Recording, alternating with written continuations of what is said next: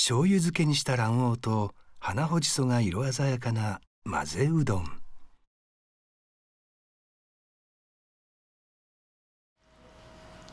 鯛の身焼いた鯛皮あらで取った出汁も入った鯛尽くし。五島のカルボナーラです。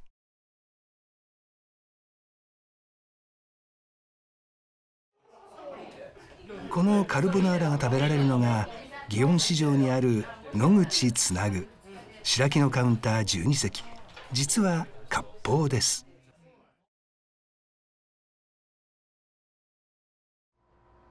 今回の主人公は野口つなぐの料理長吉田大輔さんです。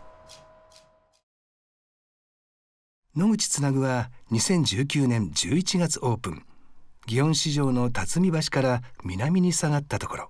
いわゆる切り通しに店があります。野口つなぐという変わった店の名前ですが実はここ。ミシュランガイドで二つ星を獲得。予約が取れない人気店として有名な京天神野口の2号店。吉田さんは34歳の若さでこの店を任されたのです。本店ありきの2号店というところで、まあ、本店ををあの継承するっていう意味合いですね。つなぐ。お客様と、えー、僕たちスタッフを、えー、つなぐ。お客様同士をつなぐ。これからいろんなものをつないでいこうという意味合いでこの祇園野口つなぐ。という屋号になってます。もうとにかく楽しいところですね。であの居心地も良いしで季節のお料理を美味しくお酒とともにいただけてものすごい大満足でいつも帰らせてもらってて。めちゃくちゃ美味しかったです、野口つなぐの料理は5品のコースをベースにアラカルトも用意。7月のコース1皿目メインの食材は蒸しアワビです。うちがまだオープンして1年経ってないので夏のお料理初めてなんですよ夏の料理初夏を感じられる食材としてお野菜は冬瓜この夏の貝ですよね、えー、アワビ、えー、こちらをこう先付けで。はい。最後に柚子をかけて完成です。あんはかつおと昆布で取った出汁をベースに冷やし仕立てにしています。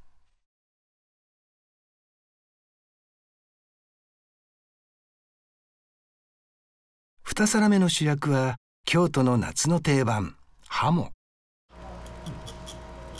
吉田さんは高校を卒業してから十数年。日本料理の基本技術調理法をじっくりと学んできました。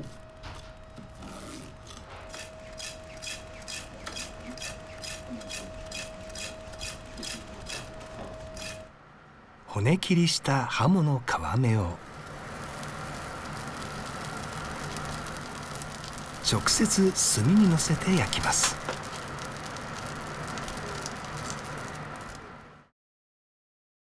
向こう漬けとして出しているので身の部分は火を通さず生。酢味噌や梅肉ではなくあえてわさび醤油で。香ばしい皮目とみずみずしい身。湯引きでは味わえないプリプリとした食感。濃厚な甘さが特徴です。そして3皿目は野口つなぐのスペシャリテ。国産の黒毛和牛を使った珍しいワンモノです。一番気に入ってるのはやっぱ肉水が美味しいなと。想像ちょっと超えてくる美味しさがあるなっていうのが毎回ちょっと思うところがある。牛肉のあんがけを野口つなぐでは肉水として出しています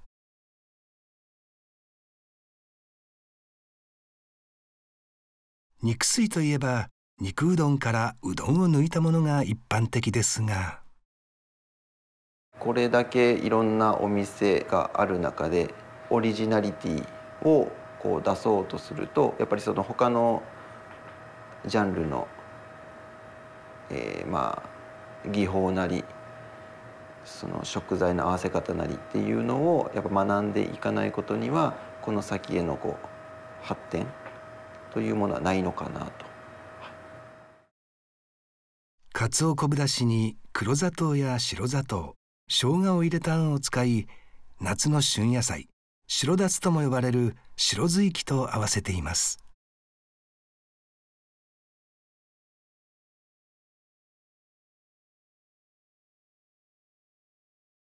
18歳で料理人の道を歩み始めた吉田さん。寿司割烹を皮切りにホテルや料亭などで修行を積んできました。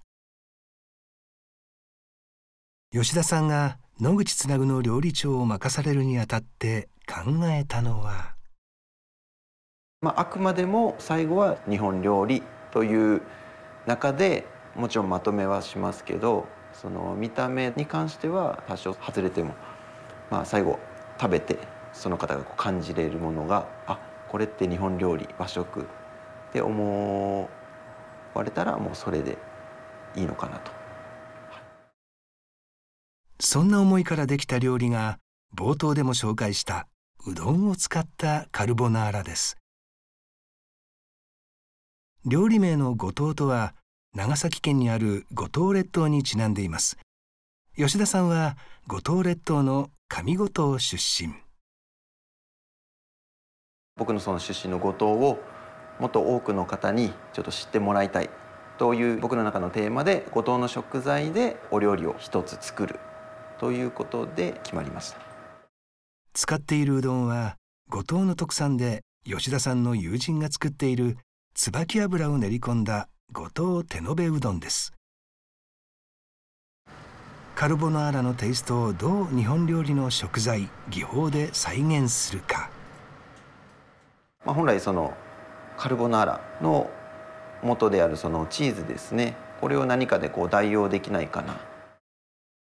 考え抜いた末たどり着いたのが。白子の濃厚さ。これを日本料理の技法ですね。味噌漬けという形でちょっと表せないかなと思って。チーズの代わりに選んだのは五島で揚がったタイの白子の味噌漬け。裏ごしした白子の味噌漬けにタイのアラから取った出汁を加えて伸ばしました。パンチェッタの代わりに昆布締めにしたタイの実を使います。そこに卵黄の醤油漬け。ブラックペッパーの代わりに炙ったタイの皮を。タイとうどん。五島の食材を生かした吉田さんならではの新メニューが誕生しました。しかし3月末新型コロナウイルスの影響で客足が激減。34歳の若き料理人はまた新しい料理でこの逆境を跳ね返そうとしていました。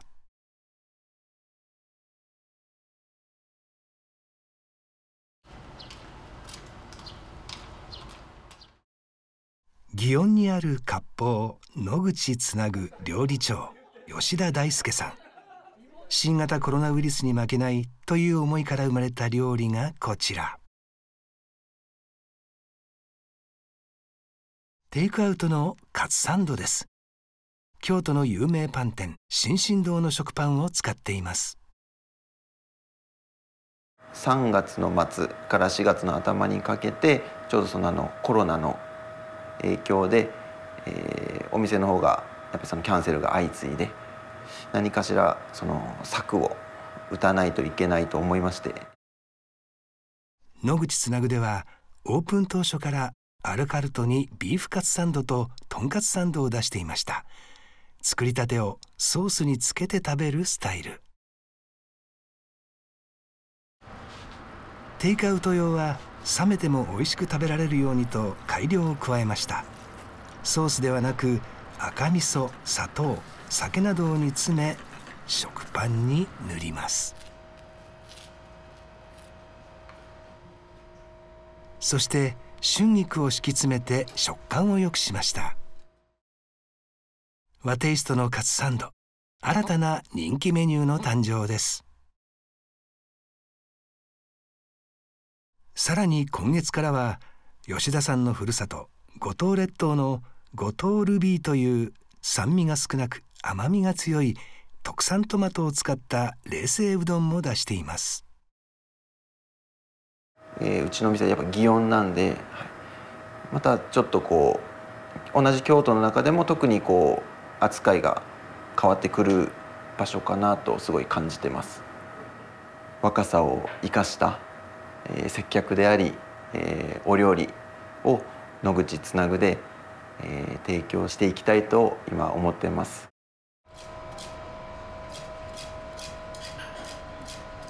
五島列島から京都へ。野口つなぐ料理長吉田大輔さん。コロナ禍という逆境の中でどう生き残っていくか。どう自分の料理を確立していくか。若き料理人の挑戦は続きます。